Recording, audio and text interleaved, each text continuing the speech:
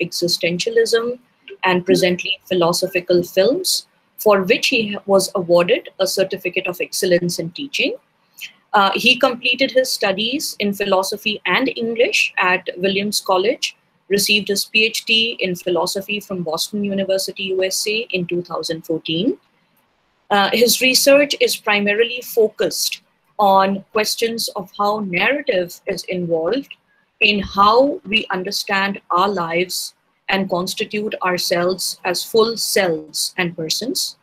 He is also developing an, uh, an interpretation of Heidegger's being and time as offering a novel theory of how we interpret the meaning of our lives. And this is my uh, favorite part. In the same way that we interpret a story, not when we've finished, but rather when we are still in the middle of it. Very impressive, Dr. Uh, some of this work recently got published in uh, reputed journals. And right now, I believe he's working on papers uh, regarding resonance between Wittgenstein and a number of contemporary American fiction writers, mainly on care, irony, commitment. Uh, he uh, also publishes fiction and popular criticism. And uh, before we uh, go on to listen to his lecture, I would quickly uh, just point out some of his notable and relevant publications here. One is on Wittgenstein, Lydia Davis, and other uncanny grammarians uh, that came out in philosophy and literature. Uh, one very interesting uh, piece, I believe, on how Sartre, philosopher, misreads Sartre, novelist, Nausea, and the Adventures of the Narrative Self that came out in uh, a volume entitled Narrative, Philosophy, and Life. Uh, another article, Confessions, Excuses, and the Storytelling Self, Rereading Rousseau with Paul de Man, uh, that came out in Rethinking European Politics and History. He has also co edited a volume entitled Rethinking European Politics and History. And we are very fortunate to have him with us. Uh, today, his talk is entitled The Persistence of Existentialism in Later Literature. So keenly looking forward to your talk. Over to you, Dr. Roth. Very happy to be back. Thank you so much to Kalpana and Ritu for the invitation and for organizing. And thanks to the rest of you that have helped with organizing this great series and everyone else for, for attending.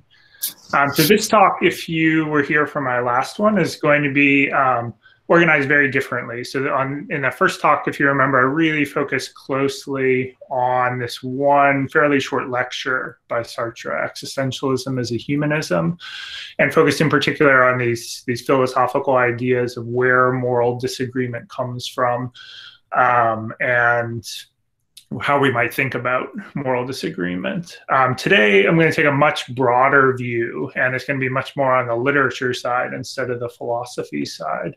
Um, so, what I want to think about is um, why existentialism continues to persist, um, especially in literature, as it um, proliferates out beyond just France and uh, more recently than World War II and the post World War II era when we as what we think of as the kind of core time of existentialism. I think there's there are many many novels where we that we would continue to describe as existentialists in some way, um, and think about uh, why that is and where and when they occur. So I'm gonna put a um, very simple slideshow up on the screen to talk through. Um, so most of what this is going to be is just um, to make sure that everyone can can see very clearly what authors and what books I'm talking about without me repeating the names and titles endlessly. Um, but I want to start off before I get to this more recent stuff, just with the the kind of assumed background of what are some of the kind of texts that we take to be absolutely core to literary existentialism with these post World War II French writers, uh, and then a few more uh, important forerunners of Sartre and de Beauvoir and Camus, people that wrote earlier than them that I also think are very important to these lines of influence and are going to come back. Um, but then I'll really focus in on texts that are more recent than that. um, in a couple different places and eras.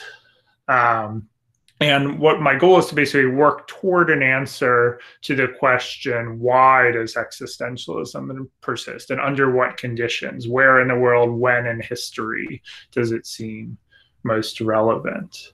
Okay so um, to, just to start off with these these these very um, central texts um, I take it that Sartre's novel Nausea is one of the absolute best places to start for thinking about literary existentialism. Um, so, in particular, I think one of the things that's really interesting is that um, novel Nausea comes out in 1938 um, which is actually years before his main philosophical treatise of the early part of his career, Being and Nothingness. And it's really common for people to read nausea and being and nothingness in conjunction with each other. So frequently people will talk about nausea as being something like just an illustration of the major ideas of being and nothingness. And frequently that's the way people think of literary existentialism as being something just like a dramatized version of these philosophical ideas. Um, but that's to grant literature really a kind of secondary status to the philosophy. And I think the relationship between nausea and being in nothingness suggests right away why that's a kind of mistake, which is, and it's because nausea is actually written before being in nothingness. It's published five years before. And when you think of it that way, it would actually suggest that nausea is the place where Sartre first thinks through some of his central ideas in this literary form within the density of a presentation of life in its its full complexity and then later he writes the treatise in the more abstract mode, extracting the pure philosophical ideas. So uh, I hope that a lot of you have uh, are familiar with nausea. There's this kind of story of Roquentin, who's a very disaffected young man um, who has gone to a fairly minor city, Bouville, literally Mudville, he's working on writing a biography of a fairly minor historical figure. Um, and there's not much in the way of actual plot in the novel. He kind of is going through a, a gentle crisis um, in which he's not sure that the way he's spending his time and writing this history is worth, worthwhile. He's worried that um, when we when we do history, we're actually just imposing form on the world that isn't actually there. But it heightens to this very dramatic experience of him, him, his kind of all of the conventions of life um, falling uh, to the side, and even the kind of concepts that language imposes on the world falling aside. So he's, he has an experience of something like being in its raw form. Right? And um, so I think that if you if you're looking for a starting place in existentialism, I said with the last lecture that um, I think existentialism as a humanism gives one of the most accessible overviews of Sartre's philosophical ideas, and I think this nausea is one of the the best places to start with a literary text. Um, but equally important to the development of early existentialism is Simone de Beauvoir. And she's now, I think, finally again getting credit for that. There was a very bad um, historical development in philosophy that even though Sartre and de Beauvoir were like in conjunction developing many of these ideas, um, Sartre really rose to prominence for a long time and people um, muted Simone de Beauvoir's uh, influence. And now, though, I think at least um, in the the American and British philosophical worlds, I think she's starting to get a lot more attention, deservedly. Um, I, I'd, go so far as to say I think a lot of people actually think that Simone de Beauvoir now is a more interesting philosopher than Sartre, and have paid a lot of attention to her work. Um, but you may know that Simone de Beauvoir, despite writing a lot of philosophical treatises, so especially The Second Sex, um, she actually identified primarily as a novelist. That's how she thought of herself, her writing persona. And I, her two most influential novels are her first one, She Came to Stay in 1943, uh, and then The Mandarins in 1954. So She Came to Stay uh, is written in the form of a kind of melodrama, um, and it seems it, it, certainly reads to most people like a um, fictionalized version of her life and her relationship to Sartre, um, and then a, yet another young woman who was part of their circle. Um, but it's an especially good novel for thinking through the concept of being for others. So the way in which part of our identity and who we are is determined by the way other people see us and objectify us. Uh, and then the Mandarins is uh, is very much the story of Sartre, Camus, and Beauvoir. Again, fictionalized, um, but their um, kind of lives as part of the resistance in World War II. And then I singled out last time that I think that uh, this one short story, The Age of Discretion, which I believe you've all now gotten access to, um, is, I think, one of the best places for thinking about um, these issues of moral disagreement and where values come from. I think it does a great job of showing um, what happens when we put these very abstract ideas of existentialism into play with people who are in conflict with each other and complicated familial relationships with each other. And then finally, uh, I think you've heard a lot in this lecture series about Camus. Um, and I, I kind of with these with these three figures, my sense of what the most important texts are pretty much lines up with I think the literary consensus that the two books by Camus, two novels that really stand out to me as his best work, are The Stranger, also translated as The Outsider sometimes, and The Plague. Um, so at least in the United States, The Stranger is the one book that um, a lot of people and students are familiar with, that it's actually fairly commonly assigned in high school English classes here in the United States. So people get a, just a little taste of existentialism maybe through that. Um, and that's also, I think, one of the, the best places to get an introduction to uh, existentialism. And one thing that works so well with The Stranger as an introduction is it kind of, in a way, it operates in both the literary and philosophical mode because the first half of the story um, gives you this portrait of Meursault and his his kind of ennui and disaffection in the world. Um, but then when he's in conversation late in the novel in prison with the priest, he has these these quite long monologues um, about his thinking about um, God and religion, um, which which almost serve as something like miniature philosophical treatises. And then the plague, of course, has become newly re-relevant in our times. I think a lot of you have probably seen a lot of um, literary critics have been writing reassessments of the plague in light of COVID 19. Um, so the plague is both this kind of story of uh, a particular bout of the plague in North Africa, but also very, very much readable as um, an allegory about resistance to fascism and the way that fascistic ideas spread through the world. And Camus uh, was very open to the idea that it was readable in these these various different levels. Okay, so that's I again this I take it to be very common background. Oh, and I'll just add one one more text that I take to be core. So we could really uh, quibble about what counts and doesn't count as existentialism. And famously, almost no one actually is comfortable being identified as an existentialist. That um, so, like Heidegger didn't consider himself an existentialist. Camus disavowed the label later in his life after his falling out with Sartre. Even Sartre was not so comfortable with this labor. So, one one thing uh, you could ask in this as I progress through this series of texts is there's always this question of how narrowly or broadly do we construe existentialism. So, and starting off in the places where things we would almost all consider, but then I'll stretch it out to include other things. But just one last one I think most people would count as fairly core to existentialism is Beckett's play Waiting for Godot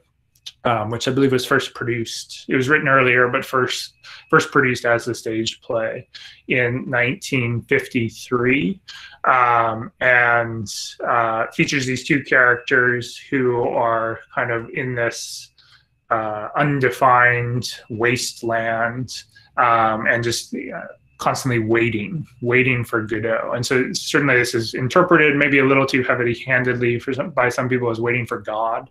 Um, there's other ways you could also interpret it. Um, but along with parts of the stranger, I think Waiting for Godot really gives us a sense of uh, one version of existentialism's relation to religiosity um, and how we can still continue to have this influence of religious thinking even as traditional religiosity has waned and a lot of people don't find accessible in the same way. Right. So this, I think, will also be relevant as a background to some of the other texts I get to. Okay, and then I want to take a kind of just a quick step backward and mention a few books before mid-century France that very much influenced the people I just talked about, um, and will influence these some of these later texts that I'll focus on in greater length. Uh, so I think Dostoevsky would be core to any discussion of literary existentialism. And the text I would particularly point to is standing out Notes from Underground, um, which is this famous portrait of this completely disaffected, marginalized figure, kind of writing from underneath society. Um, and is frequently read by people in conjunction with Nietzsche uh, crime and punishment. Also, I think some people take to to be uh, something you can very easily conjoin with Nietzsche, or also connect to this idea of the kind of um, superfluous act, or this idea of an action not being grounded in particular reasons, but kind of being spontaneous and standing apart from it. I mean, this is one of the things talked about with Sartre and existentialism as a humanism. This idea that uh, value, it's not that value creates action, but rather action creates value. So at the at the bottom line of an existentialist analysis of value is this idea that it's our our free choices that create value in the world. Um, and then also, when most people consider Dostoevsky's greatest novel, The Brothers Karamazov. And one thing that I think is is so interesting about The Brothers Karamazov, uh, so the the story um, eventually revolves around this particular murder that has taken place. Um, and there's this question as to whether that murder has been uh, premeditated um, or it has been some sort of spontaneous action. And in American legal system and many legal systems, you know, there's a major distinction between those two things because the punishment is much greater for premeditated uh, action than spontaneous. But one of the things that the brothers Karamazov does is it actually really puts, when you read it and read this account of and reconstruction of how the murder takes place, it puts enormous pressure on the idea that we can actually make a clear distinction between premeditated intentional activity and spontaneous activity. So there's one um, very prominent scholar of Slavic literature, uh, Gary Saul-Morson, who has offered this concept of processual intentionality as a way of thinking about Dostoevsky. So it's the idea basically of thinking of intentionality as a process. Um, so and and it's not the idea that we you know we first reflect, think, decide, then will ourselves into action and act. Instead, it's the idea that uh, our very activity is a process that smears intentionality out into time. So it's actually, we don't necessarily have a crystal clear idea of what we intend or want to do and then realize it, but instead the very activity of, of starting to do something is something that starts to create and crystallize our intentions. And so we can't actually distinguish clearly between intentional and spontaneous action. That's also something I'm going to come back to with some of these more recent books. Uh, and then still within the Great Russian figures, um, one of my favorite texts is uh, Tolstoy's The Death of Ivan Ilyich. Uh, so in particular, uh, this was a substantial influence on Heidegger uh, when he was writing the second part of Being and Time, where he talks about the, the notion of being towards death and the, the notion that it's um, a genuinely individualized awareness of the possibility of our own death that opens up the possibility of authenticity for an individual. That if we if we continue to obscure the fact that we will one day die that is something that helps us escape into inauthenticity. Um, and so the death of Ivan Ilyich is this this story of of one uh, figure who um, comes to understand that he really is going to die, that it is inevitable. It's in fact going to come quite soon. And then the, the quite radical effect that has on his thinking about the world and about how he should live in the remaining time that he has. So I'm actually going to be teaching the death of Ivan Ilyich uh, in a couple weeks in my philosophical films class because um, we're going to be reading it in conjunction with um, Kurosawa's great film Ikiru, um, which takes the death of Ivan Ilyich and uh, adapts it to the, the heavily bureaucratized culture of post World War II Japan. Um, and uh, recast Ivan Ilyich as a bureaucrat um, in city government in that culture. And again, he gets a, a, a, diagnosis that he is going to die soon. And then we see um, the radical effects that has on how he's going to use the rest of his life. Okay, and then um, also, very core forerunner of existentialism, who you've heard a lot about in this series, Kafka. Um, and his his stories, um, and then the two novels that um, people focus on the most the trial and the castle. Well, no, there's actually um, a bunch of new, or not new, but uh, previously kind of lost and inaccessible stories that are going to be published in English um, just in the next, I think, month or so, um, that have been very difficult for people to get access to and are being published in a much wider edition now. Um, but Kafka, I think what existentialists find of such interest in Kafka's thinking um, is this extremely distinctive and refined sense of absurdity Kafka has. That this kind of clash between the idea that uh, life feels um, deeply meaningful, but we don't know what that meaning is. That we can can't pinpoint it, or like in the the basic plot of the castle of Kay constantly trying to reach this goal of getting to the castle and it constantly eluding his his grasp. So the the kind of impossibility of the fulfillment of our deepest hopes and intentions, but at the same time, impossibility of altering or getting rid of those hopes and intentions.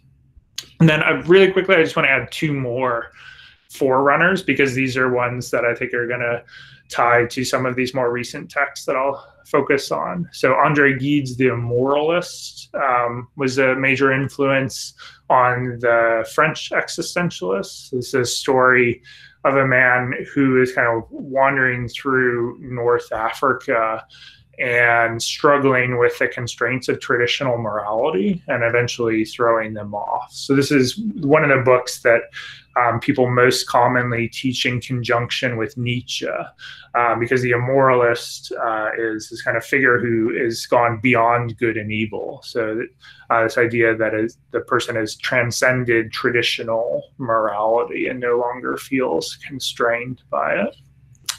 Um, and then one more American forerunner, one of the earliest of all these texts.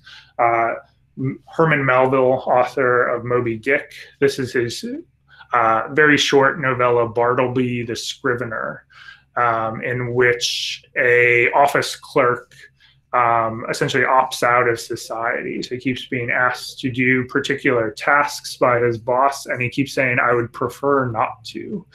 Um, and just that becomes this kind of mantra. I would I prefer not to, um, but what it, what's so fascinating, I think, and why people continue to be fascinated by this novella of Melville is there's just no explanation ever offered for why Bar- Bartleby would prefer not to. That uh, when he gets when he's kind of pressed within the story for an explanation, he just it just kind of grounds out on that I prefer not to. And that's even the text as a whole kind of interpreted in a literary way really resists any clear interpretation of what that is. And so it gives us this, I think, kind of very interesting portrait of, um, again, back to Sartre's ideas of where value comes from of our kind of choices as this ground groundless ground right so they, there's nothing that grounds them but then they ground everything that come from it and are so in, in a certain sense kind of unanalyzable because what everything else is analyzed is in terms of those free choices we make um, but some of the texts i'm going to talk about here now getting started will be a particularly kind of American version of existentialism's influence. And so I think uh, Bartleby plays a real role on some of those. Okay, so the, the organizing question that I, I take for this talk is this When does existentialism arise, reemerge, and seem most relevant? That's the overall question I want to work towards an answer to. So I want to start with a couple commonplace answers that are not exactly wrong, but also not not very deep in their insight. So the first one, this is kind of a joke, but you could say the kind of glib answer to this question, when does existentialism arise and reemerge and seem relevant? The glib answer would be with every disaffected teenager. So this would be the idea that existentialism places this this very central priority on on um, anxiety um, and kind of malaise, ennui, this kind of falling out from normal cultural norms. Um, and in a way, that those things are very similar to the kind of crisis that most teenagers go through at some point, where they feel this kind of great weight and anxiety of their lives kind of don't understand why things are the way they are, don't understand what they should be doing with themselves.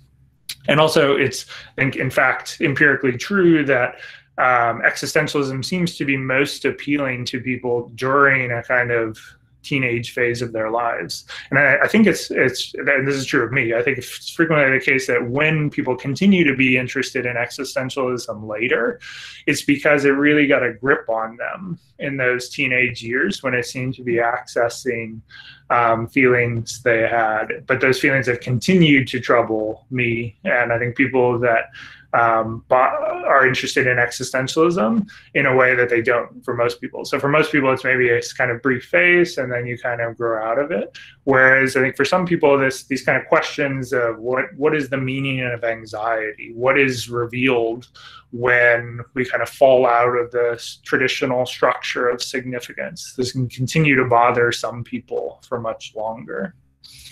So again, I say this is this is kind of a half serious, half joking answer. But if we take this answer seriously, one thing it suggests is that existentialism will be perennially relevant because we'll always have a new batch of teenagers that are struggling through these same questions about how they should live and what their relation to traditional uh, morality and cultural norms should be. But it also suggests this flip side that um, even if those those gener- each new generation of teenagers finds it relevant, it's going to be dismissed by professional philosophers because most of the professional philosophers have aged out of these concerns and issues and look back on them perhaps somewhat condescendingly and dismissively. And I think if we if, if we take the very big picture of the Anglo-American philosophical world, I think this is something this is actually a fairly accurate portrait, which is that um, existentialism continues to be taught in just about every philosophy department at American universities, for example. Um, and it's the reason why it's taught is primarily because it's, it's usually a quite popular course with um, American college students who are 18, 19, 20 years old. But at the same time, um, they're then not all that many courses uh, beyond a kind of one existentialism course at most colleges. Like an advanced seminar on Sartre would be pretty unusual in most um, colleges now, um, or um, a full class on Camus or something like that.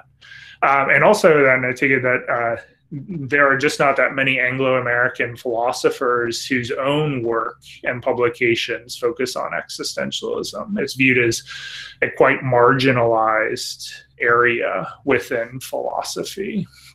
Um, and so it's kind of with this first answer, this idea that it'll be relevant to people, but not to people who have dedicated themselves professionally to philosophy. Okay, and then um, my second kind of initial answer, and I think I think this is the kind of standard answer most people would give you, and then I'm going to seek to refine a little bit with my examples. But the standard example: when is when does existentialism arise? When um, does it reemerge or seem most relevant? Would be um, it has something to do with times of cultural upheaval. So first, we just noticed that, in fact, this, the core figures that we would take to be existentialists all exist in extremely um, uncertain times, times of change. So Kierkegaard and Nietzsche are perhaps the two great philosophers of the wane of religiosity and the rise of secular modernity. Um, so exists at this time where the traditional ways of organizing life in Western Europe are collapsing, um, and where people are struggling to figure out how to create new ways of organizing life. Um, and of course, Kierkegaard and Nietzsche go in quite different directions than where Kierkegaard tries to kind of recover a true notion of religiosity, whereas Nietzsche kind of um, paves the way toward a post religious time.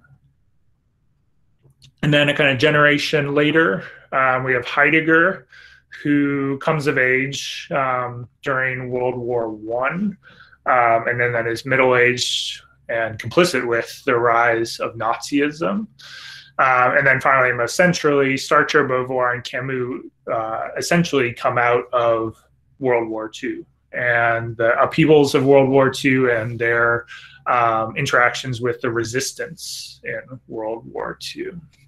So one thing you might think this suggests is that um, there's some sort of at least correlation, even causal structure at work here, and that be, existing in this historical times of great upheaval um, leads one to these existentialist concerns, or leads one one later back to these existentialist concerns, um, because those those upheavals all have the shape of either putting pressure on or collapsing the prevailing structures of meaning and the prevailing practices that organize people's lives.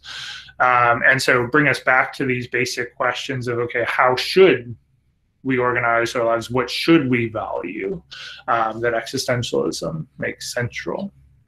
So the first book um, I want to talk about in just a little more detail um, as you see, uh, the way I've organized this, I'm moving quite quickly through a lot of books. And in part, that's because, especially as I move into these new ones, I take it that most of you will not yet be familiar with a lot of these books, won't have read them.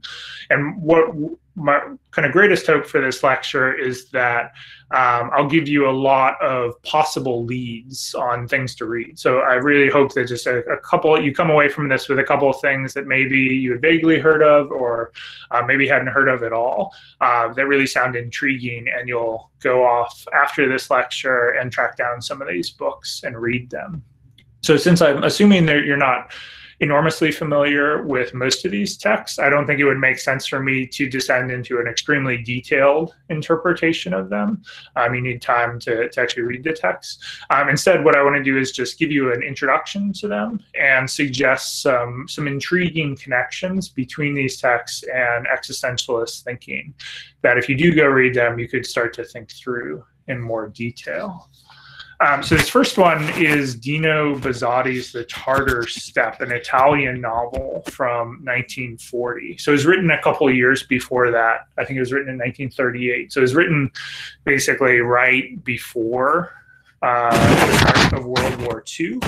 Um, and then it was published during World War II and published in particular exactly in between the publication dates of Sartre's Nausea and Camus' The Stranger. One was two years before, one was two years after. So it's right at that time where literary existentialism is starting. And um, if any of you have seen one one thing I created um, and doing some of my criticism is this kind of flow chart to recommend philosophical novels. Um, you can I find it pretty easily on the internet, um, but just, there's just a kind of uh, half serious resource to help um, students and other readers to uh, go find a philosophical novel that sounds especially intriguing to them. Um, but I actually, on that flowchart, I singled out this book, The Tartar Steppe, as what I think is the the most underrated philosophical novel of all time. So I think it, we, this is a novel we should think of uh, as highly as The Brothers Karamazov or The Death of Ivan Ilyich or um, The Stranger or Nausea, but at least in the United States is an extremely obscure book. I very rarely meet anyone who um, has heard of it or read it. Um, I think in, in Europe and Italy in particular, it's a little bit more familiar. But the basic story of the Tartar Steppe is there is a, a newly commissioned soldier Drogo, um, who has finished his training, and his first posting is to an extremely obscure backwater fortress um, on the edge of a northern desert. And um, it's kind of vaguely suggested that maybe this fortress was once important in the past, um, but but now it's very much suggested it's an unimportant place. It's a place where kind of people go off and um, uh, have their careers derailed because it's so unimportant. Um, so he goes goes to this fortress. It overlooks a desert where there's this kind of vague worry that um, there might be invading Tartar hordes from the north that will come down someday. But there's never actually been any sign that this is happening. Um, and he goes off there with the goal of being reassigned and going reassigned to the city as quickly as possible. Um, but then he ends up staying there essentially his whole life. So he keeps kind of the reassignment keeps getting deferred. He keeps kind of finding a reason to stay at the fortress. And one of just the, the real formal achievements of this novel is that um, it somehow very plausibly makes you feel that he could do this, that as much as he wants to leave, he could stay there his entire life. And so it opens up into this allegory of why do we spend our entire lives not doing the things that we actually claim to ourselves are the things that are most important and we want to do? Why do we procrastinate our entire lives from the things that we actually think we should be doing? Um, and I won't, I won't uh, give away the ending, but he, he's he set off on this track where he seems to then be spending his entire life at this fortress. So some, some ties that I particularly stress with this novel is that clear connections to Sartre's ideas of bad faith. So one of Sartre's central examples of bad faith is the soldier playing the role of the soldier. Um, and that's very much these everyone at this fortress is um, you know constantly going through these changing of the guards and standing at attention, even though there doesn't seem to be any reason for it. There's not any actual threat.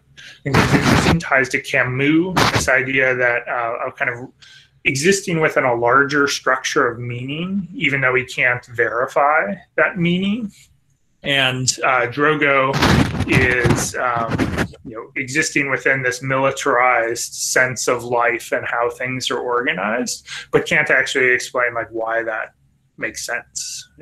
Uh, but in particular, I see enormous Heideggerian connections to the Tartar steppe. So one of Heidegger's distinctions in Being and Time is between two different orientations toward the future. There's awaiting the future, um, which is the inauthentic orientation to it, versus expecting the future, which is the authentic. And so, in particular, authentic orientation towards the future for Heidegger is being towards death. Um, and that is what allows us to individualize our existence and possibly achieve authenticity. Um, but there's one of the important sources for Heidegger's notion of authenticity is Kierkegaard. And one of Kierkegaard's claims is that the knight of faith is in no way identifiable from the outside. So it's a suggestion that authenticity doesn't actually bring or necessarily bring any sort of overt changes in a person's life. It could be an entirely internal sense, uh, reorientation towards doing the same things you do and living in the same way. And so on a first reading, the Tartar Steppe, I think the obvious reading that presents itself is that Drogo is trapped in inauthenticity, in a kind of bad faith. Um, and that uh, if he could achieve authenticity, he would leave the fortress. He would finally go do the things that he wants to do with his life. Um, but actually, on a kind of second reading, especially in light of these Heideggerian and Kierkegaardian ideas, uh, one thing we might think is that um, if Drogo did achieve authenticity, it might not actually change his life in any way. So it could be that authenticity is merely a, a reorientation towards one's existence as it already is. And so that could even open up the question of um, maybe Drogo could leave a completely authentic existence kind of trapped at this fortress without changing anything about it. Okay, and then um, that's to just add one text from this core era of mid uh, 20th century Europe to this list of existentialist novels.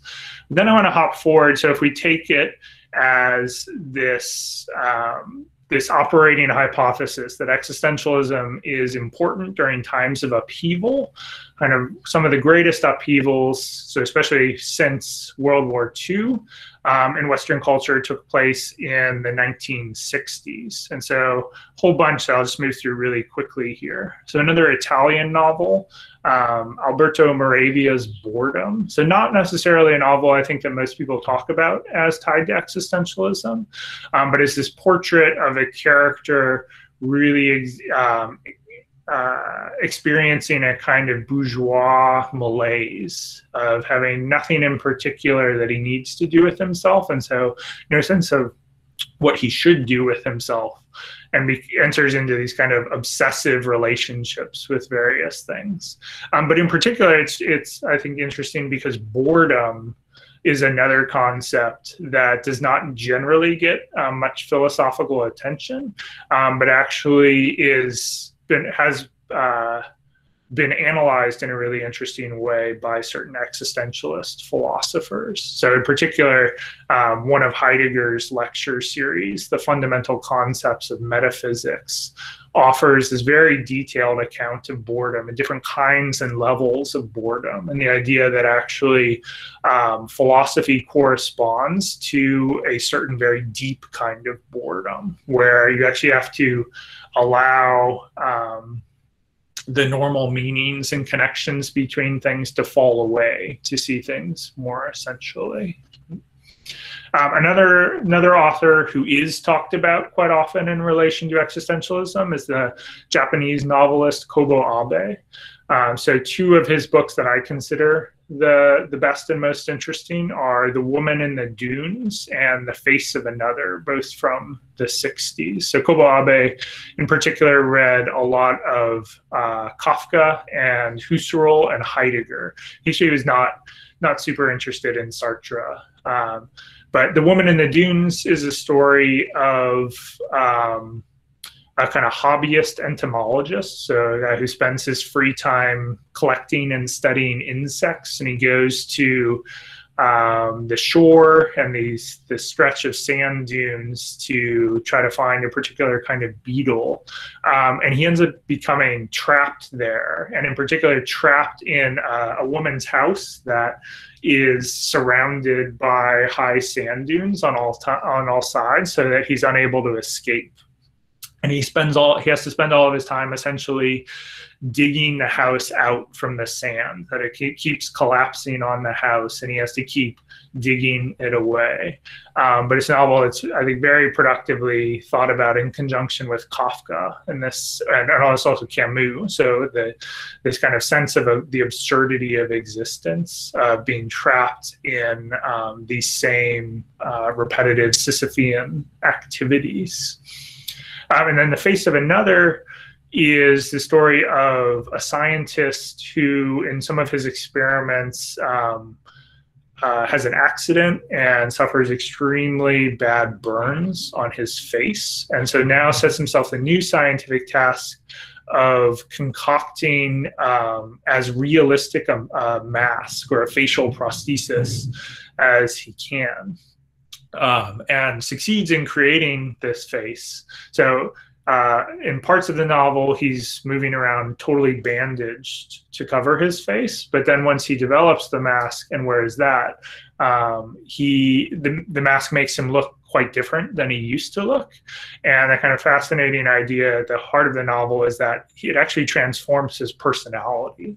And so this is a, another place where I think if you want to think about the existentialist concept of being for others, this notion that part of who we are is how we are objectified and seen by other people.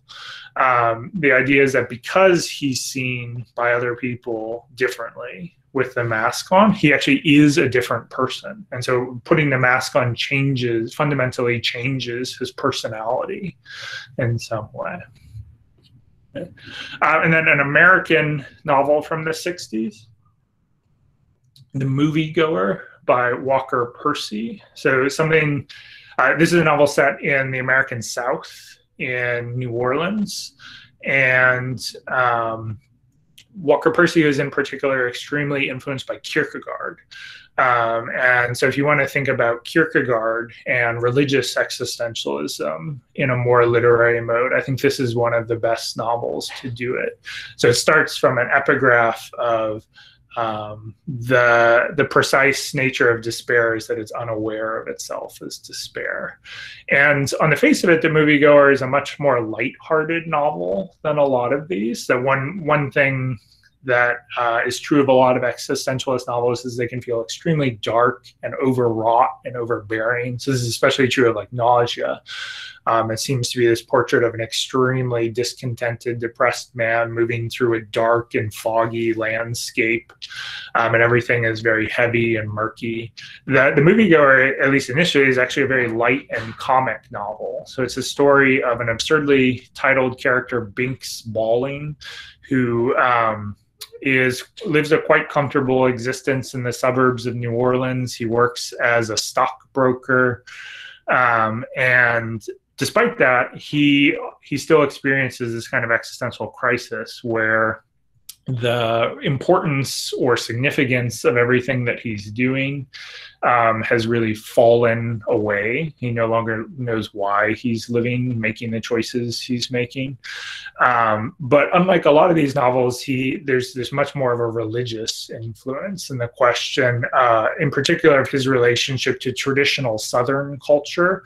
So, in, in New Orleans is one of the few places in the South because of um, the influence of French immigration has a much more substantial Catholic population, um, and uh, how that influences his thinking. So uh, the concept that emerges in the moviegoer is that of the search, and that Binx Bolling is constantly on the search, and but it's left indeterminate. What is that search for? So is it kind of straightforwardly the search for something like the meaning of life or how to live, or the search for God?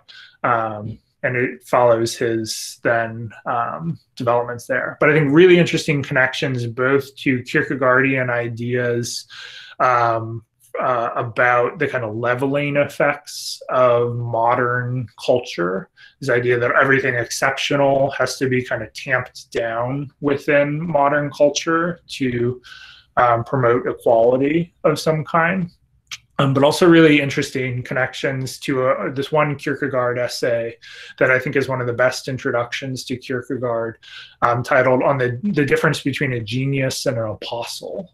And, and in that text, Kierkegaard is comparing the way in which you would really read a religious text when you take it to be the words of an apostle or a prophet. So basically, if you read this text, taking it to be some some sort of conduit to the divine or the voice of God, versus if you read a religious text uh, when you take it to be the work of a genius, so an, an, aesthetic genius, an artist, and you take it that what they've done is create an artistic achievement. So one of the, the interesting things Kierkegaard argues for is that you can't actually take a text as both of those things; that those are actually contrary stand interpretive stances. So one, I think the, the best example of this is you can think about the book of Job, um, which is another thing we could think of as an existentialist text. Um, so there's one book from the Old Testament, um, the the story in which God and the devil make a bet as to whether um, this very pious believer Job can be shaken out of his faith when the devil takes away everything, uh, all of his wealth and his family and everything that he cares about. So, on the one hand, we can read the book of Job as a religious text, take it as written by an apostle, a prophet, and then we're very much interpreting it for what is what is God saying via um, his human actors in this text, or you could take it as written by an artist. And, and, many people will read the book of Job just in a literature class, utterly apart from any um, particular religious beliefs, and just read it as this dense text of thinking about the relationship between prosperity and the good life. Um, and for Kierkegaard, there's this absolute clash between those two stances. Okay, and then one one more American one I want to add. Um, this is a book that uh, has really been rediscovered in the Anglo-American world in the last uh, five to ten years. Um, Stoner by John Williams. Um, it had been a very obscure book for a long time, but then people um, started to reread it recently. And um, this is a very academic novel in the sense that its its main character Stoner is uh, a lifelong English professor. Um, it's this very quiet, meditative story of his life um, and struggles within the academic realm, and in particular his kind of the way in which certain higher up colleagues of his have kind of inhibited the possibility of him rising in the academic ranks.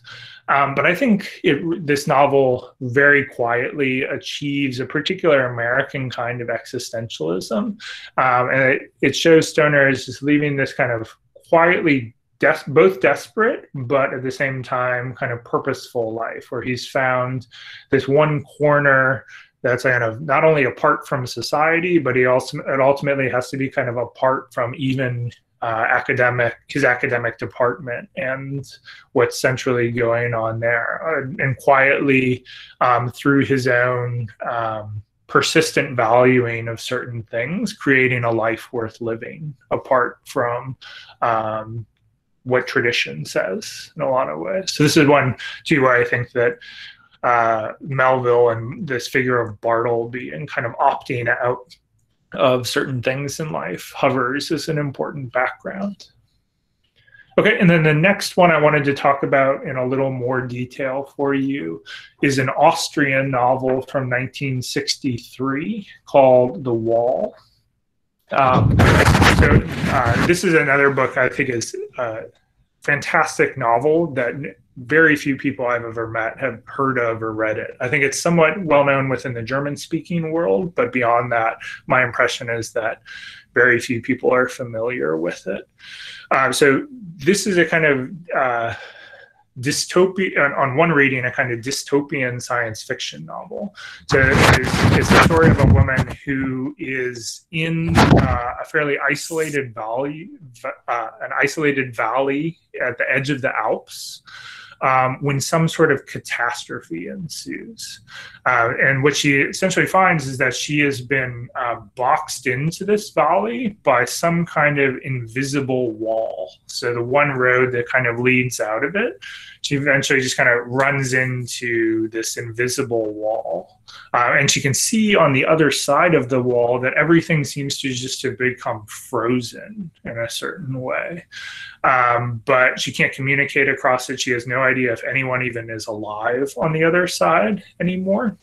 And so it's never really explained, but it's quietly suggested that um, there's maybe there's been some sort of nuclear event or this wall is some sort of uh, weapon that someone attacking uh, Europe has deployed or attacking within Europe has deployed in some way.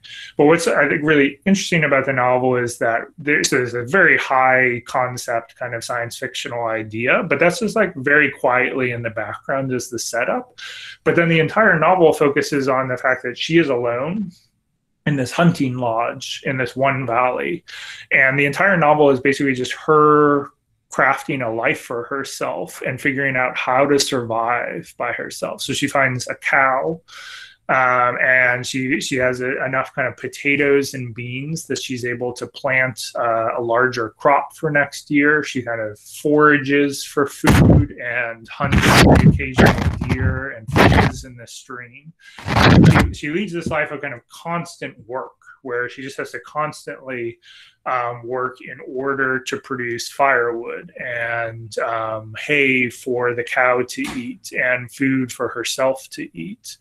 And so, some of the existentialist themes that I emerge in this one, uh, the traditional way this novel is read is as a feminist novel um, because it's this one woman who is, is left by herself, but to left to in this very male narrative. So normally survivalist narratives like um, Robinson Crusoe are um, paradigmatically these male narratives or one man left by himself. Instead, it's this one woman left in that kind of situation.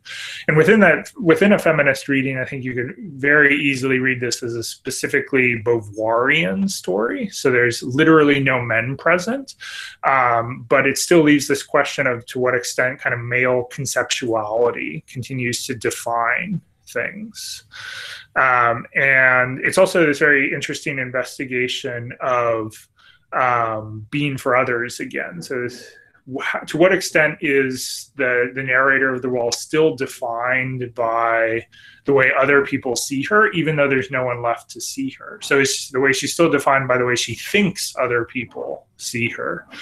Um, but also the, the animals emerge very interestingly in this role in this story that she has, as you can see on this, this cover here, she has a dog with her who becomes the kind of main second character in the book and her companion.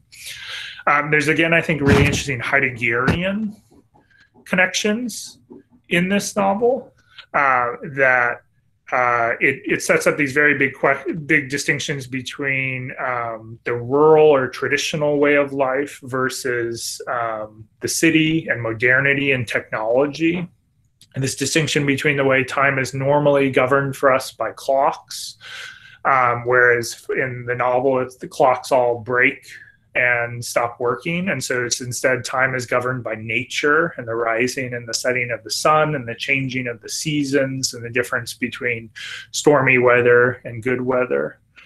Um, but I think the Heideggerian thing that most interestingly I want to focus on is that Heidegger offers this account of uh, where significance comes from. And in his analysis, there's significance always exists within this larger structure that we're doing any immediate activity for the sake of some other activity, for the sake of some other activity. And then what Heidegger points out is that ultimately that is for the sake of being itself. That's why um, we do anything at all. And what what I think very distinctively happens in this novel is that whereas normally that's a heavily mediated structure with lots of intermediary steps, so many of those intermediary steps in this are cut away and no longer present. And so, in particular, we can notice how um, so many of the things that we do, we do for the sake of making money so that we can use that money to do something else. And just by taking out that intermediary step, money has no role when this one woman is trapped by herself.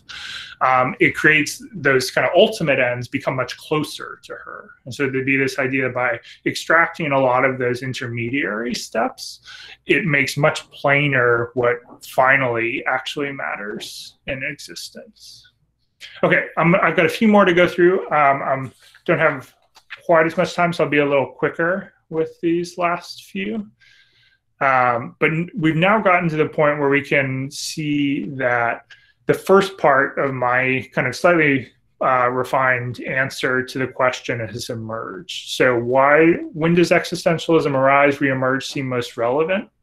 The first part of my own answer would be that it's not just in historical moments of cultural upheaval, but in historical moments when the struggle for freedom is prominent and palpable, but not so dire as to obscure matters of dignity.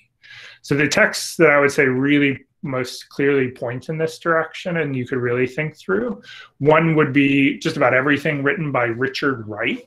Um, American writer from the South. So I think the two books that most productively read um, in conjunction with existentialism are his autobiography Black Boy, which is about growing up black in um, the segregated South. And what's really remarkable about this book is that um, unaware at that point of larger existentialist ideas through his analysis of his own experience growing up in segregation wright basically comes to many of the same concepts that sartre and beauvoir and camus did.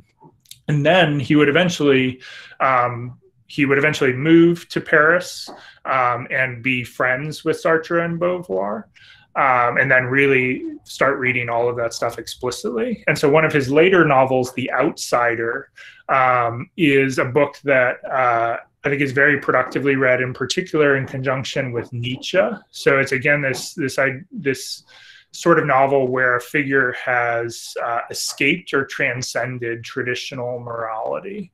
So in particular, this this the setup for that book, The Outsider, is that the main character. Um, uh, everyone thinks he has died in a subway accident. And so he just walks away from his life um, because everyone thinks that he's now dead. And so, uh, in metaphorically dead, he's then able to kind of recreate his life as he wants to, apart from traditional morality. Um, and the a lot of Wright's books, I think, very productively also read in conjunction with Frantz Fanon. Sorry, I've actually misspelled it. There should be a T within Frantz Fanon's first name there. Um, his, uh, his book, Black Skin, White Masks. Um, and I think Fanon is someone that um, is getting an enormous amount of attention in philosophy and the art world um, right now, and is someone that I think that we should really view as a central existentialist philosopher, um, along with Sartre and de Beauvoir and Camus, and in particular the philosopher of what does existentialism look like, um, not to white Europeans, but instead to marginalized populations. So black skin, white masks, thinking through what it is to be uh, viewed as black by society. And then the last great text of his, um, The Wretched of the Earth, which is about colonialism and, and how to decolonize. Right? And that's a book then to make the transition that is very fruitfully read in conjunction with Kamel Daoud's The Meursault investigations. So Daoud is a Algerian journalist um, and he published this novel, The Meursault Investigation, in 2013, which is essentially a rewriting of The Stranger um, from the perspective of the colonized population. So, as many of you know, The Stranger takes place in North Africa, um, but that Meursault is um, part of the colonial population. So he comes, his lineage is tracked back to France. And um, one of the very infamous critical charges against the stranger is that um, in that book, Meursault eventually commits a murder. Um, but the victim of his murder is never named. So he's just referred to as the Arab in the book. Um, and then when Meursault is put on trial, uh, remarkably, it doesn't seem to be the fact that he's committed a murder that bothers the prosecutors or the jury. And instead, the focus comes much to be much on the fact that uh, Meursault's mother had died, but Meursault had never cried at the funeral or didn't seem bothered or d- didn't really mourn her. And so again, this there's this charge by some critics that the novel um, com- marginalizes the colonial population. And so, one thing Kamel Daoud is doing in writing this book is he's kind of reclaiming that story from the position of the colonized population. So, it's written from the perspective of the brother of the man that was killed by Meursault, and it gives him a name. His name is Musa in the novel. Um, but it's also, I think, a little more complicated than that because um, so one way you can read it then is it's just this it's this post-colonial rebuttal to a the charge that the stranger is racist by obscuring its colonial context and ignoring its colonized the colonized figures in this story. But at the same time, the Meursault investigation is also an homage to the stranger. So it's written very much in the same kind of language as the stranger, to the point that by the end of the book, um, the narrator starts to actually say many of the same sentences that are used in The Stranger. So it's it's totally steeped in in the language and story of The Stranger. Uh, but one other thing uh, mentioned this very briefly. In addition to being a rebuttal to the stranger, I take it that the Meursault investigation is also a stranger to this. There's one uh, very bad tendency that exists in some of these novels. So before, way up above, I mentioned The Immoralist by Andre Gide. Another book we could mention here is Paul Bowles' The Sheltering Sky. So I think these are both great books but they also do this thing where they're both complicit with a kind of Orientalism, where they present North Africa as this kind of site for um, the wanderings of disaffected Europeans and Americans. So North Africa is essentially presented as this place where like these white Westerners have come to escape the traditions of their culture. And by doing that, they end up um, kind of fetishistically uh, othering and orientalizing North African culture. So I think it another thing that uh, the Meursault investigation is doing is kind of writing back against that tendency within um, certain uh, European novels set in North Africa. Okay, and then um, uh, the second part of my answer, and this is where what I'll finish up with, is that that was very quickly to focus on um, existentialist novels where the struggle for freedom is really palpable. The second part of my answer is essentially the flip side of that. Um, and remember that whenever we're talking about freedom and existentialism, we're also talking about responsibility. So freedom is not the freedom to do anything whatsoever unconstrained because it always comes with it the responsibility of enacting and creating certain values. And also representing those values is not merely your own preferences but is having universal value of some kind. And so the flip side of focusing on the struggle for freedom is to focus on complicity with the um, restriction on freedom. And so here I'm saying that in historical moments when complicity with the denial of freedom is prominent and palpable. And here also, I think it's really important to say not just the freedom of others, but also one's own. So the focus in these last few bits stories and novels I'm going to talk about is especially this. What is these novels I think emerge when people are worried that they're complicit with their own unfreedom. So the idea that um, they're not taking responsibility for their own free possibilities, but actually inauthentically rejecting that. So one short story that I think is a great way place to think through that through this is called Good Old Neon um, by David Foster Wallace, the American writer. It was published in his collection Oblivion. Um, and this is this, the story written from the perspective of a character who uh, views himself as essentially fraudulent. So he thinks, in, in these existentialist terms, he kind of looks inward and asks, What is my essence?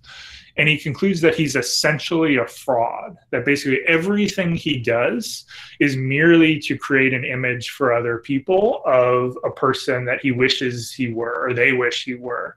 But that he's not he doesn't actually have anything inside him. He's this kind of emptiness um, that's always playing a role for other people. So it's this kind of extremely hyper conscious, self conscious notion of bad faith where you know you're in bad faith, but feel like everything you do remains in bad faith. There's no escaping it in any way.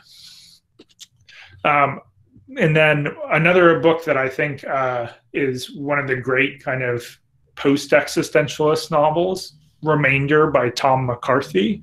Uh, this was written in 2005. Um, and it got its, it, he kind of struggled to get it published initially. So it was first published by uh, a very small art book press, but then it really caught on and achieved this cult status, was republished by a bigger publisher and won awards and got many more readers. Uh, but Remainder is the story of a man who suffers a serious head injury, um, which escape, erases most of his memory. But he also, because of this accident, receives a huge financial settlement, um, which basically allows him to do anything he wants to do. But what he chooses to do with his money is that one day he experiences this this flash of memory and deja vu of a time when he felt authentic. So when he felt he was kind of fully present in his body and his life and moving fluidly through the world. And so what he does then is he spends all of his money to try to recreate that memory. So he he remembered himself as being in an apartment building with uh, a neighbor below him that's endlessly cooking liver, another neighbor who's practicing the piano, another neighbor who's out in the yard tinkering with his motorcycle. And so he literally buys an apartment building has it renovated into the shape of his memory and then hires actors to occupy the roles of these people that he remembers doing these different things. And so it becomes this this extremely convoluted meditation on authenticity because on the face of it what he's doing is the most inauthentic thing possible, like literally acting all the time. But it's for the sake of re-achieving a feeling of authenticity. So it suggests in this, in a very kind of postmodern way, that um, if authenticity is to be achieved, it's not going to be simply, but it's instead going to be through inauthenticity.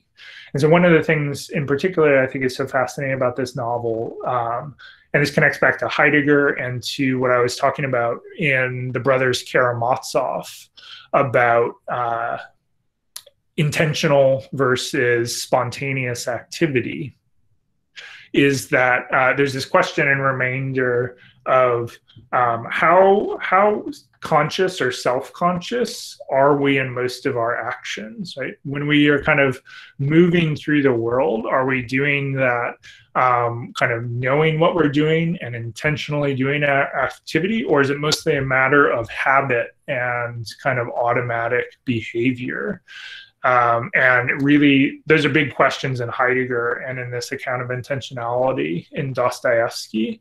And here we get this very kind of um, postmodern version of it in McCarthy. Okay, then just last few. I know I'm running over on time here, so I'll be quick.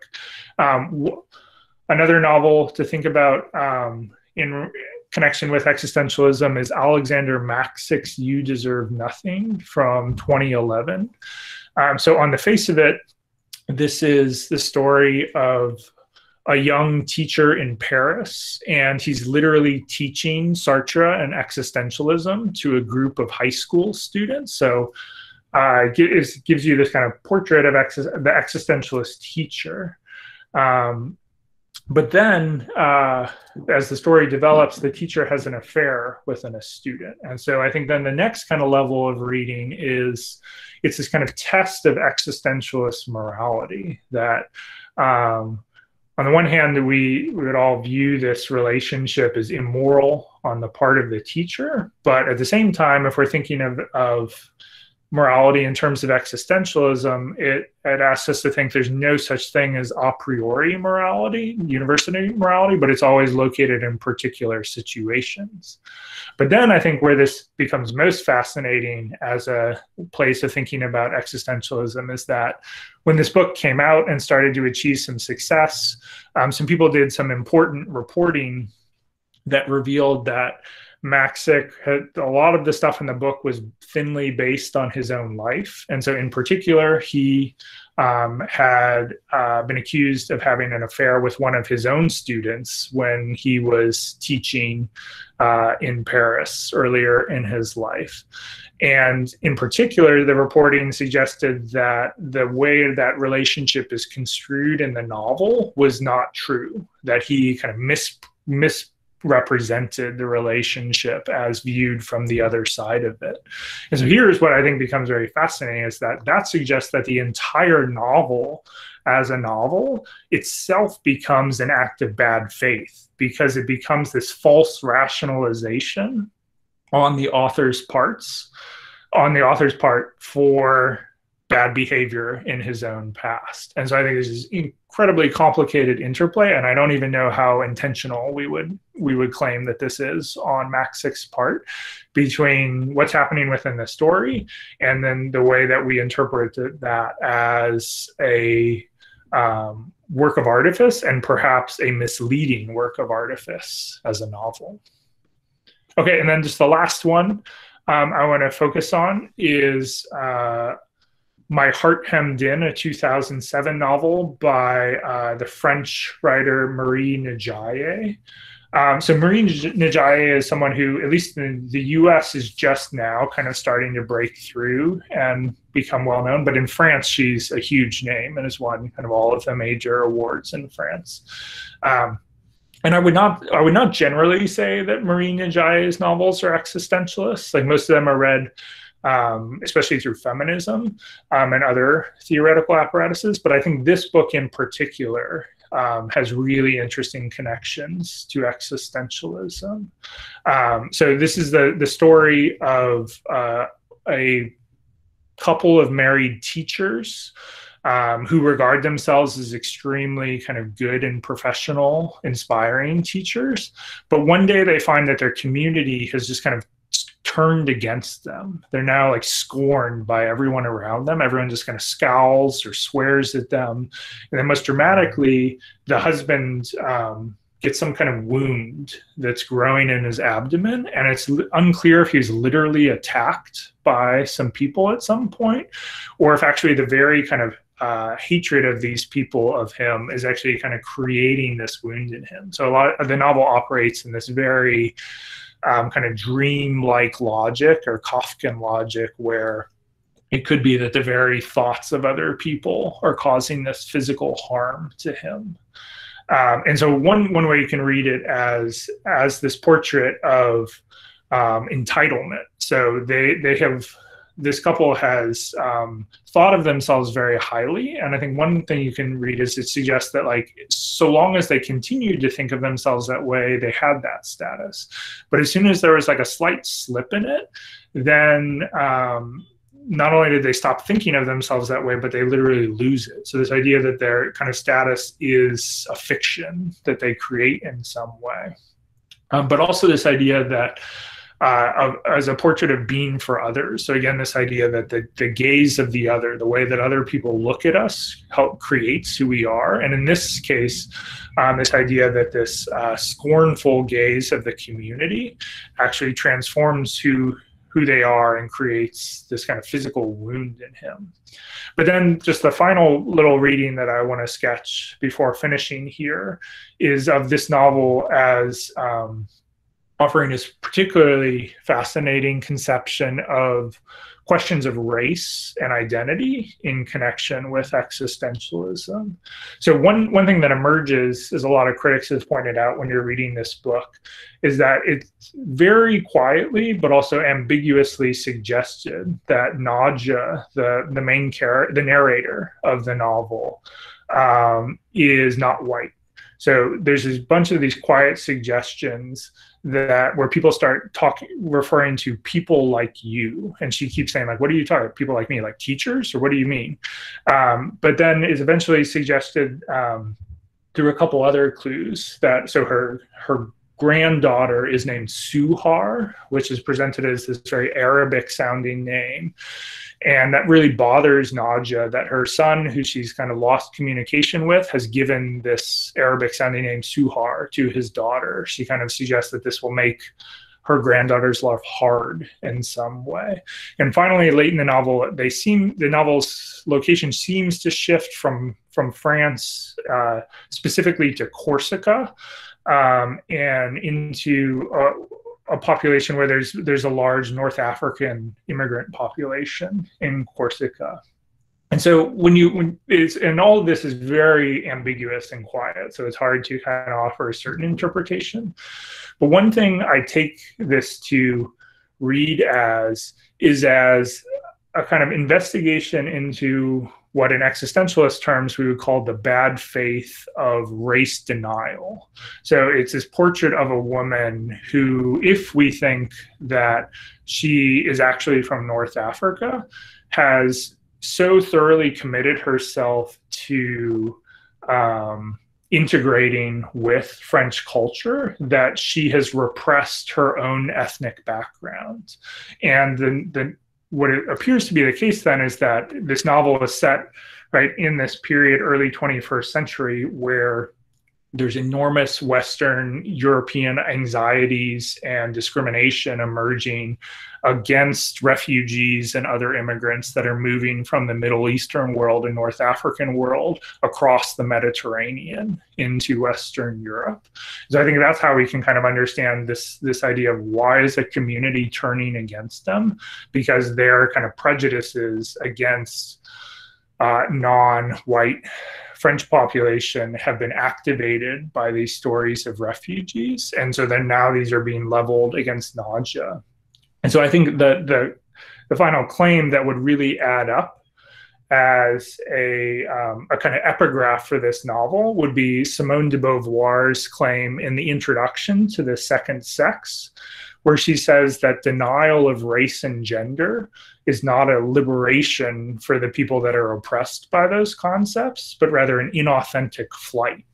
And so Beauvoir's suggestion in the introduction to the second sex is that if we just operated without notions of race and gender that wouldn't actually create equality between all of us. It would instead uh, lead to like yet more inauthenticity because these concepts would continue to have an influence on people and would continue to be employed prejudicially, but we would no longer be able to explicitly thematize how that's happening. And so the way that I read this novel through this very particular interpretation is it's a portrait of a woman who is herself tried to forget that she's a woman and that she is has North African ethnicity um, and the the kind of the way in which that doesn't allow her to escape the prejudices of the people around her but actually kind of gives them even more power than they had before. Okay so i've gone way over on time um, but just to, to sum up then uh, on the one side i've suggested that um, books like Richard Wright's Black Boy and Kamel Daoud's The Meursault Investigation can really help us think about where there's kind of new existentialist novels being written from the side of people fighting for freedom. On the flip side, some of these last books I talk about and really help us think about the way in which when we're complicit in denying freedom, either to others or to ourselves that that, that leads to another kind of new existentialist novel meditating on our own complicity and responsibility.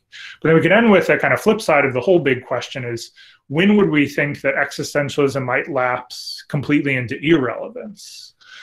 So one possibility would be if we decide that we're fundamentally unfree.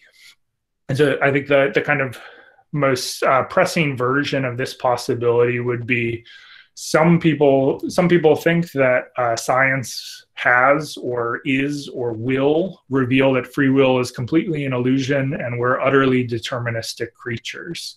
Um, and if we if we as cultures and societies decides decide that that's true then this kind of core claim of existentialism that we are free that we are responsible would no longer be tenable um, kind of more plausibly, I'd say that whether that we ever have a good, like a definitive answer to that question, existentialism will also lapse into ir- irrelevance if we become totally complacent to our own freedom. So, in particular, if we rationalize um, the unequal distribution freedom of the world. So, if we if we grant that okay some people have more freedom others less we're all have some kind of basic freedom but we don't care about actually achieving any sort of increase in freedom and equality. That would be another place where people would lose any kind of sense or relevance of existentialism. Um, but i think in both of those cases it's also those are the exactly the kind of dystopics dystopic portraits that I would imagine will always have dissenters. And so it'd be the people kind of standing in, in opposition to those reigning worldviews um, that would in particular emerge as caring about existentialism. Okay, sorry to, uh, I badly estimated my time on this one, so sorry to go over, but I'm happy to answer questions still.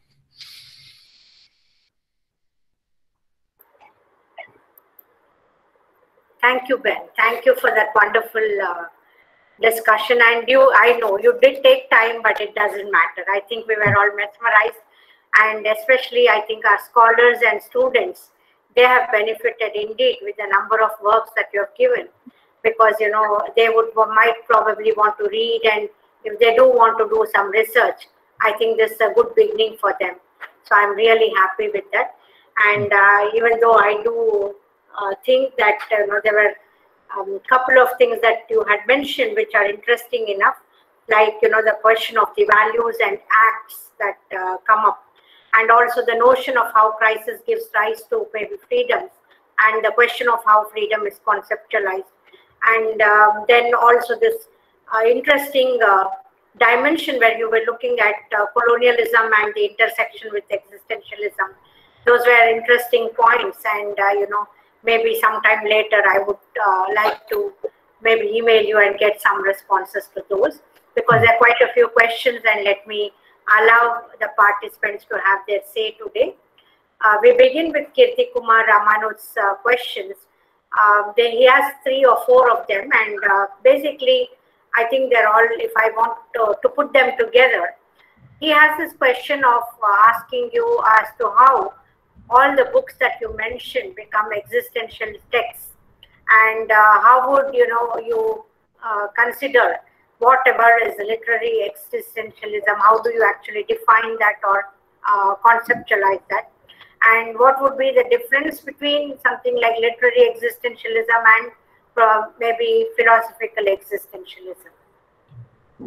Yeah, so I think that it's actually a, a quite difficult question to say like what is our what is our criterion for deciding something is or is not an existentialist book? So i think one one thing we one way we could address that question is through kind of particular lines of influence.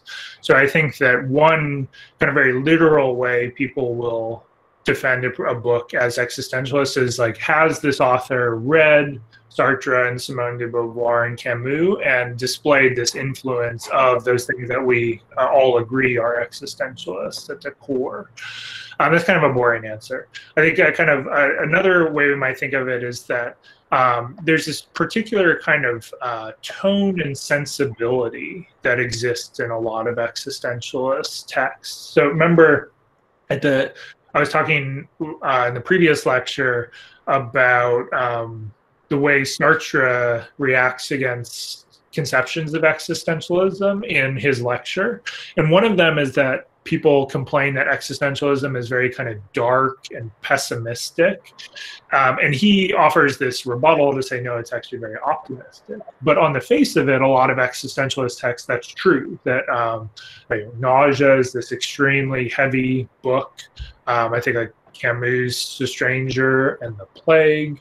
Um, they have this like there's this sense in which like uh, one of the, I think one of the most basic feelings of the existentialist sensibility initially is something like that you're set upon by the world. It weighs on you in a certain way. It's heavy, right? And so one thing I think that leads people to describe more recent novels as existentialist is when there's something of that feeling to them. So I think like that Marie NDiaye novel that I ended with has that same sort of like very claustrophobic, solipsistic um, Kafkian worldview to it.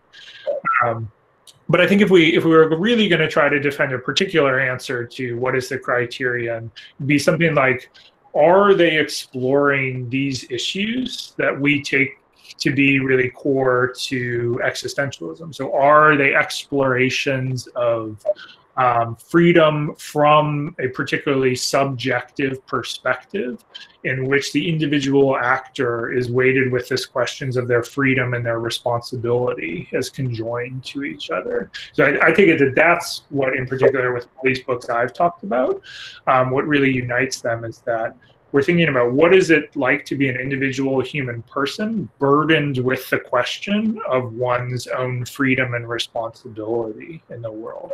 And it turns out that that that sensibility can actually like in I was saying in the moviegoer, it can actually have a more lighter comic feel to it, um, but still be um, dealing with those sorts of questions.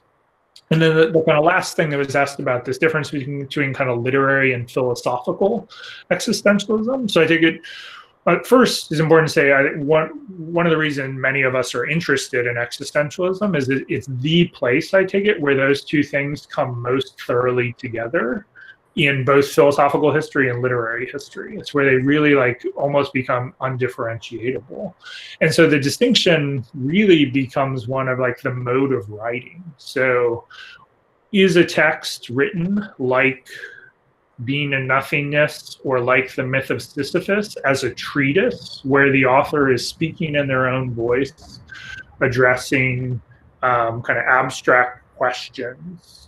Or is it written in the form of either taking on a particular narratorial persona or from a third person narrator perspective, focusing on the interaction between characters as um, that being the mode or more indirect communication. But of course, what's what's wonderful about a lot of these texts is that they play with the lines between those. So, Being and Nothingness is a treatise, but it includes um, these sections where Sartre, like in the the patterns of bad faith chapter, Sartre gives us this waiter who's just as memorable a character as any character in any of his novels. Or with Kierkegaard, you have him playing with the very difference between what is a fictional persona and what is speaking in his own voice by creating these pseudonyms as the authors of works in different parts of his works. And so that's certainly what appeals to me uh, one of the things that appeals to me enormously about existentialism as it really transgresses the distinction between literature and philosophy. And at any particular moment, these authors will draw on a more philosophical mode of writing or a more fictional narrative literary mode of writing or a more essayistic mode of writing whatever like allows them to do what they're trying to do thank you and i think you know we now have lots of labels coming up. So the next question is uh, with regard to Graham Greene's novel, The Heart of the Matter, and the question by Shilpa Shri, I think she's one of our students. She asks, is it a study in religious existentialism? Yeah, so um, first, I can't say too much. Uh, I, unfortunately, I have never read um, the heart of the matter. I've read very little Graham Greene. Actually, that's I, I don't know why. That's an oversight that I should correct. Um, but I but he is certainly someone who um, scholars talk about in connection with existentialism, um, and in particular, like your your question suggests, like.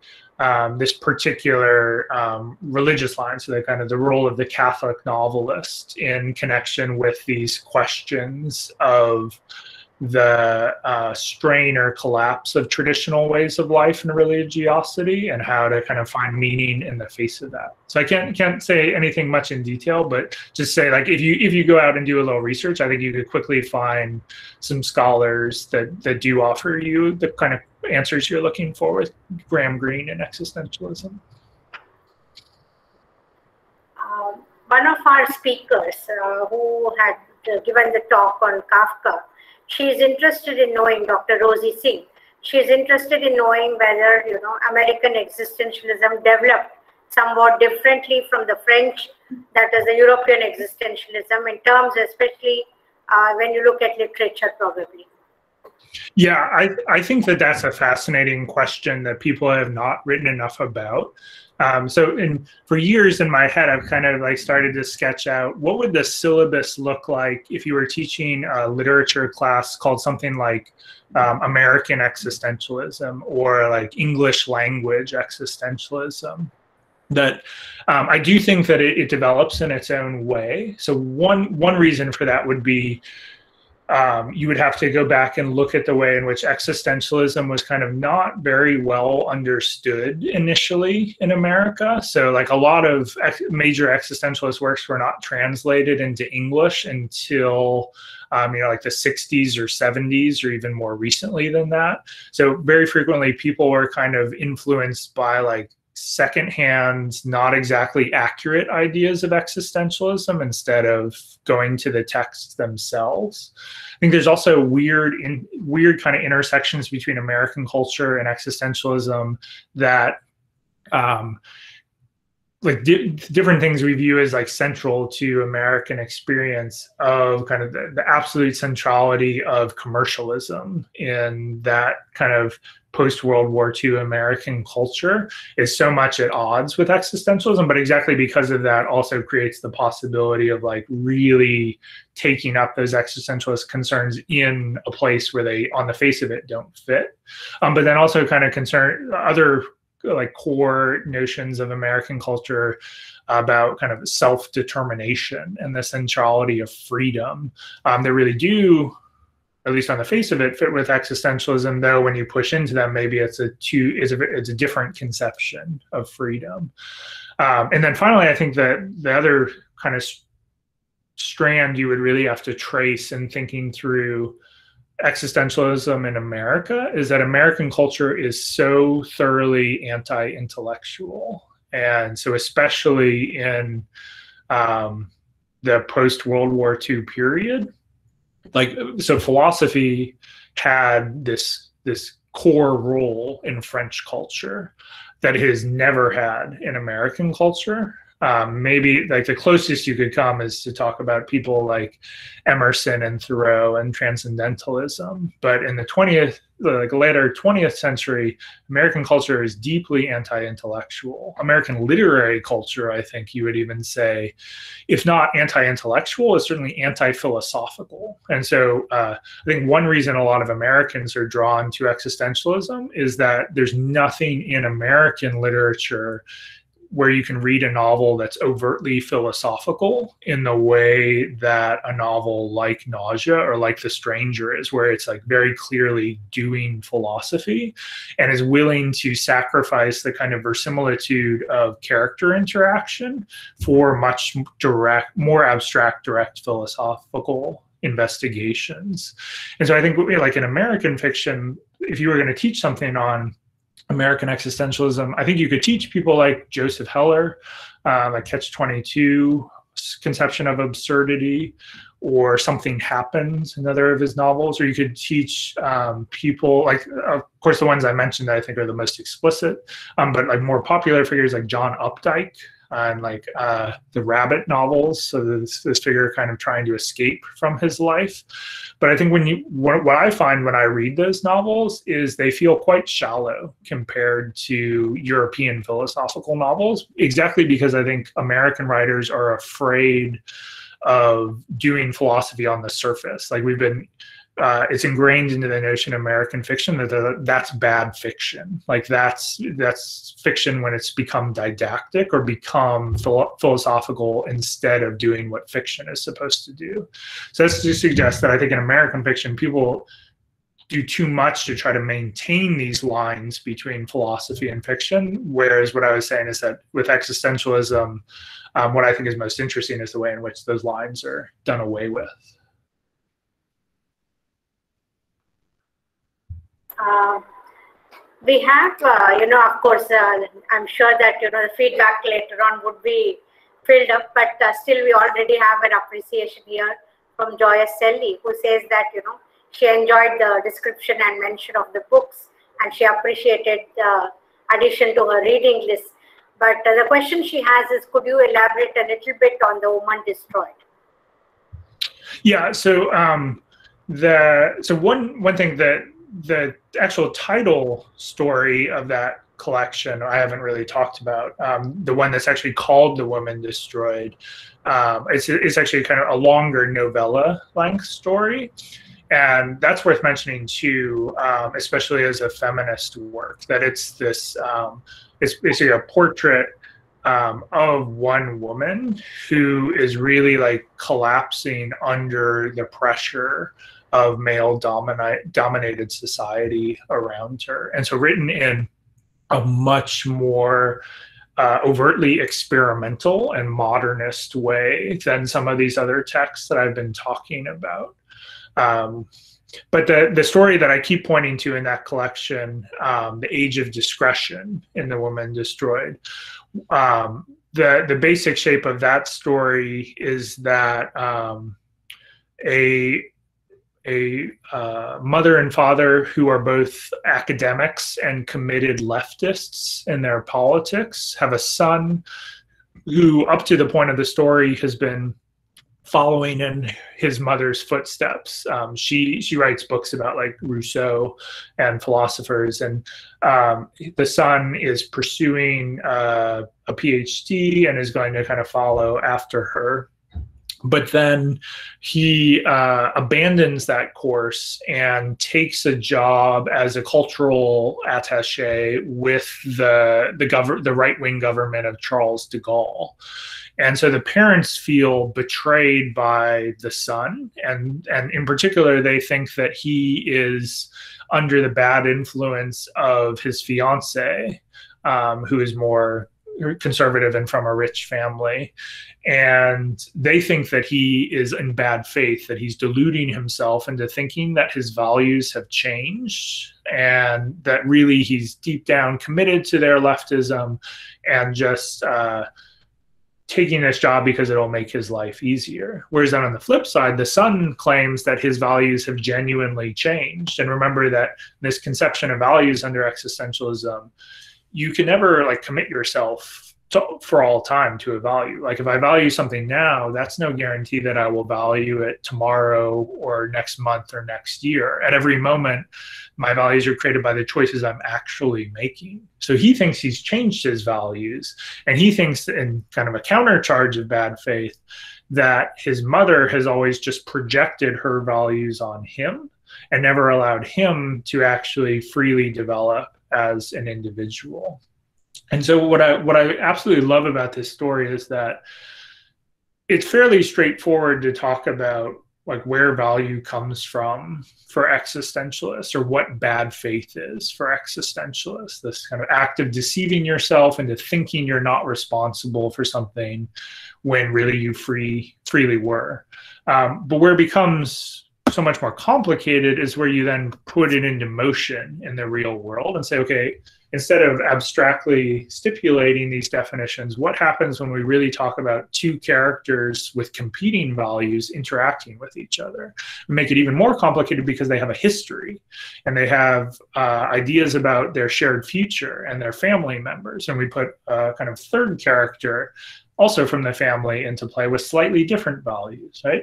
And so I think that it's such a good story for thinking about existentialism because it gives you a very psychologically convincing portrait of what it looks like when we take these questions on not utterly abstractly, but through a particular family in their real conflicts.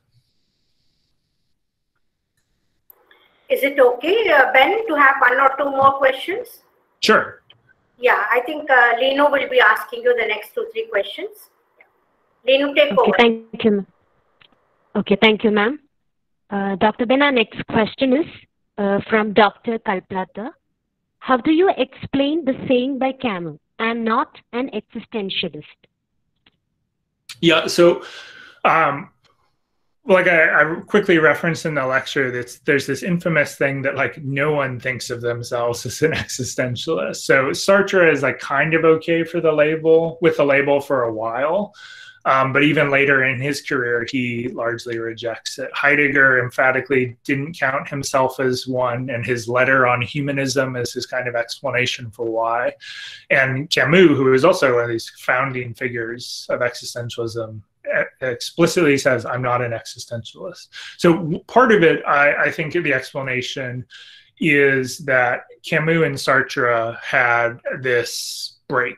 So they had been um, close friends and intellectual comrades for a long time. They'd worked together on the newspaper um, and they have this falling out over the question of um, whether one should be a committed communist or not.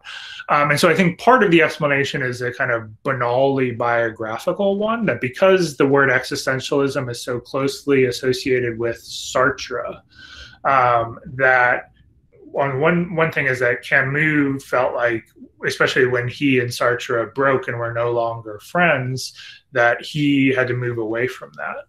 But then I also think that there, there's kind of more intellectual meat there too. Is that if you construe existentialism quite narrowly as kind of Sartre's ideas about existence preceding essence and us freely creating ourselves, I think if you push into the particulars of the view, Camus has his own version, and it's different enough that if he wants to really, if Camus wants people to really understand his ideas as his ideas instead of kind of uh, like twisting them to fit them into a preconceived shape, then it's better for them to say like, okay, take my ideas on their own terms, not through this label existentialism.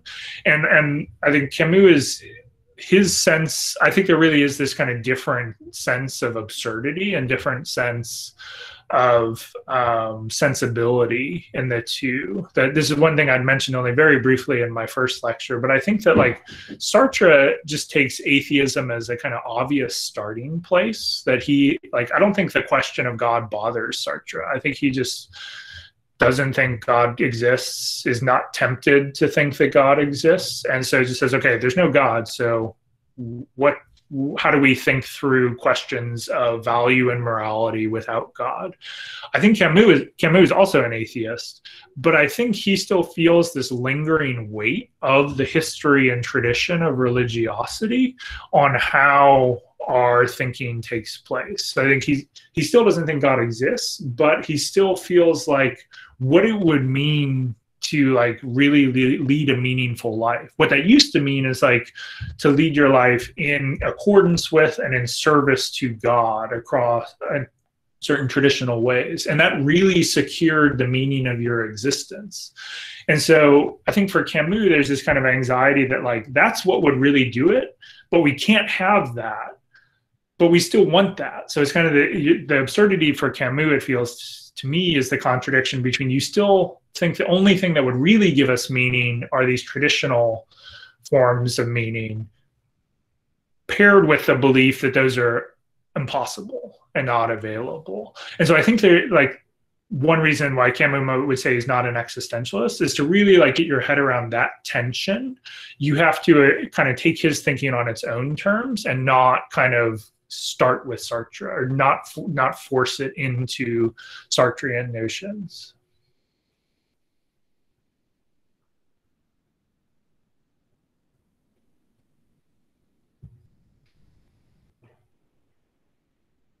Oh, thank you, Dr. Ben. So, due to shortage of time, we need to skip some of the questions, uh, but don't worry. Uh, we'll make sure we'll uh, answer all the queries through the mail. So, the last question is from Bishan Kumar. In what aspect Heidegger's being in time affects Sartre's even when Heidegger converts its very formula of existentialism? Existence precedes essence yeah, so you, Dr. Ben. Uh, Heidegger's Being and Time is an enormous influence on Sartre in particular and existentialism generally. And like the, the question points to this this thing that is the kind of core slogan of existentialism, existence precedes essence, is actually a line from being and time. And um, so I take it that what the way you would uh, explain this um, line of influence is that Sartre, when he's thinking through the shape of his early thinking, being and nothing, and writing being and nothingness, I think that um, Being and Time by Heidegger is the most important text and influence on him. But um, it's not clear that, so there's two ways you could say this. One, the kind of less charitable way to say it would be that um, Sartre doesn't actually understand being and time all that well.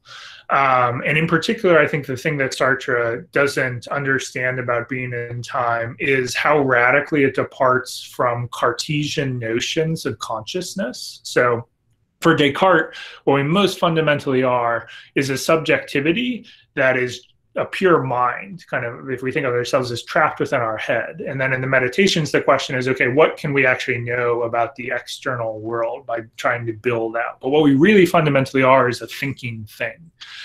And the kind of uncharitable way to say is that Sartre takes the kind of a lot of the core ideas from being and nothingness, where Heidegger had really rejected that notion of Cartesian subjectivity and instead said what we most fundamentally are are embodied beings that move through the world within particular societies and cultures where all patterns of different practices and meaning have already been established before our birth that we're thrown into and forced to come to terms with. Is to take a lot of that stuff from heidegger and translate it back into a cartesian subjectivity. So to say like okay for heidegger meaning is fundamentally outside of us in the practices and rituals and histories that we're a part of. And Sartre says, okay, what if we take all that and put it back inside your head again? Right? The more charitable way to put it would be to say that um, not that Sartre misunderstands Heidegger, but he wants to take certain things from Heidegger, but disagrees about the subjectivity, and so combines what he likes from Heidegger with what he actually wants to hold on to more than Heidegger about Cartesian subjectivity. Uh, but I, I do take it too that uh, Heidegger, uh, again, a person who rejects this label of existentialism, he's at his most existentialist in being and time. Um, but even there, to read Heidegger as an existentialist, so to be centrally concerned with this question of individual freedom and responsibility in creating value, is already to do quite a bit of damage to what Heidegger thought his most central projects were. So, in, in being and time, the question Heidegger really wants to ask is um, what is the meaning of being? He thinks that all of Western philosophy since the pre Socratics has forgotten that question and instead just wanted to ask the question of what is this being or what's that being instead of what is what is being. And, and um, all of the analyses that Heidegger offers in Being and Time of anxiety or of being towards death methodologically are actually offered on the way towards trying to ask that much more grandiose question of the meaning of being. Um, and to take Heidegger as an existentialist is basically to do something like ignore that framing, ignore that question Heidegger is actually interested in, and just focus on some of the initial steps that he takes for their own sake. So instead of asking, like, what does anxiety reveal about our relationship to being to just focus on anxiety and his analysis of it and how it differs from fear. Um, i think that's totally a totally valid kind of interpretive move to like be interested in the philosopher but for things against their kind of further intentions. But that's also helps to explain why heidegger so adamantly himself rejected existentialism because he thinks there's something like um, before uh, sorry, I lost the, my train of thought there. Um, uh, that reason that Heidegger rejects existentialism is that uh, he doesn't want to focus on those uh, individual human questions ultimately. Those are just a kind of uh, means towards a larger end for him.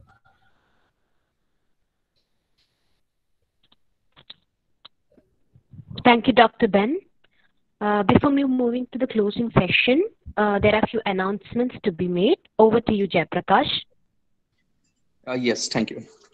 Uh, uh, good evening, everyone.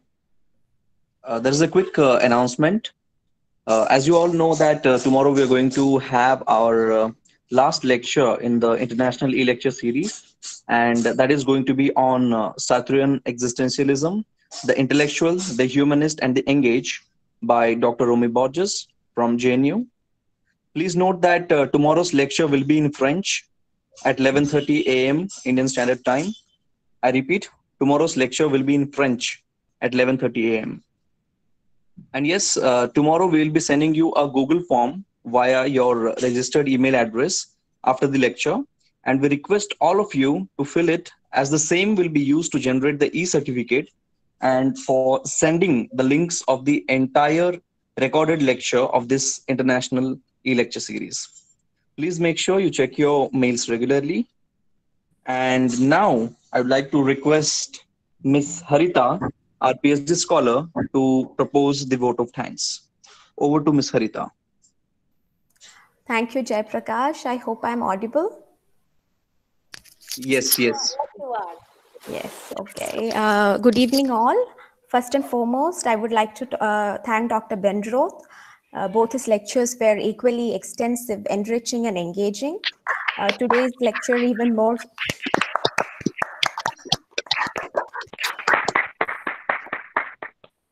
Uh, today's lecture even more so because I think uh, his talk today has brought together all what we have discussed in the previous sessions and it has uh, tied it up all uh, really nicely.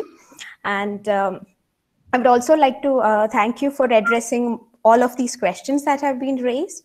And um, I, sh I, should also actually thank Kalpana ma'am and Ritu ma'am for the strategic placement of these lectures because uh, today we discussed some pertinent writers we did not discuss before and it was pertinent that we discussed them after discussing giants like Sartre, Camus and Kafka. So thank you Dr. Ben Roth, uh, Kalpana ma'am and Ritu ma'am. And once again, uh, I would like to formally thank Kalpana ma'am and Ritu ma'am for organizing this e-lecture, making it happen, and keeping us uh, active and academically engaged, busy and happy uh, during these tough times. So thank you both. And I would like to uh, thank both um, Jayaprakash and Linu, who have been working relentlessly in the background to make this uh, e-lecture series happen. Thank you both. And next, I would like to thank Mr. Ganapati, who has provided us with all the technical assistance we needed and guided us through the technical glitch glitches which frequently arose. So we cannot thank him enough. Thank you, Mr. Ganapati. And uh, lastly, we would also uh, like to thank all the participants for all your interest, your patience, and uh, the very interesting queries, the intriguing questions you raised today and on all the other days. So thank you, everyone. Uh, like JP announced, uh, we'll have the last session of the lecture series tomorrow, which will be in French. Anyone who is inter interested can join in. So ho hope to meet you all there. Thank you. Take care.